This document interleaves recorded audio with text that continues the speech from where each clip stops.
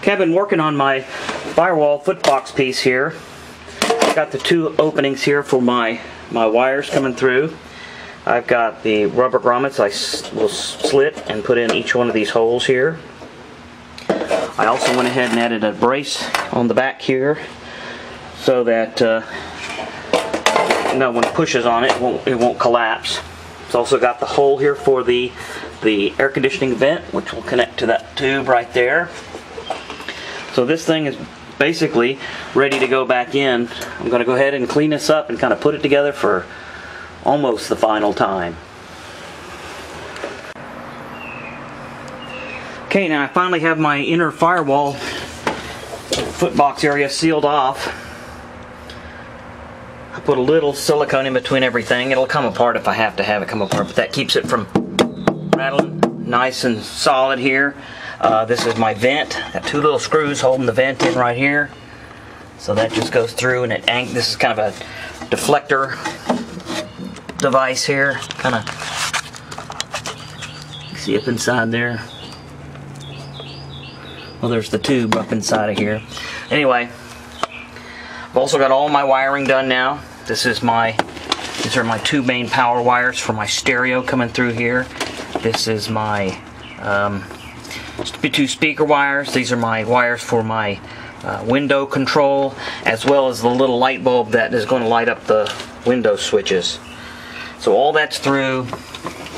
Got the rubber grommets around everything. Got this piece back on.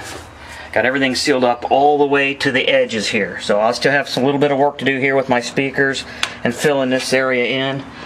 But uh, this baby's back on pretty much for good but it's not too hard to take off if I have to.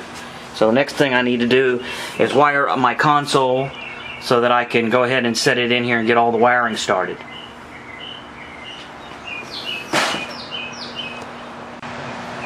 Alright, so now I've been working on this, this front console piece. This is the piece that has a little bit of wiring to do here.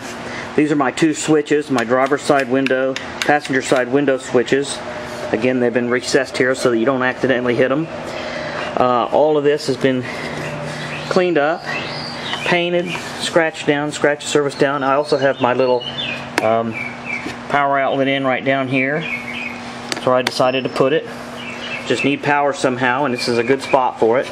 Right behind the cup holder, which goes in right here. But anyway, I've got my wires here. Took five wires here. They come through here. These are the two wires I have for my power port, my cigarette lighter type thing. They come up here through a clamp. This is a connector for my windows. It takes five wires. This is the connector for the little lamp that's going to light up. There's a little lamp up inside of here that's going to light this area up. And then I've got one more thing coming out of here, and this is my power port, which is the cigarette lighter wires.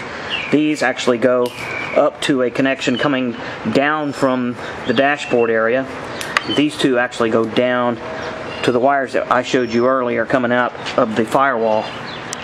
So that's all wired up. I just now have to reinstall that.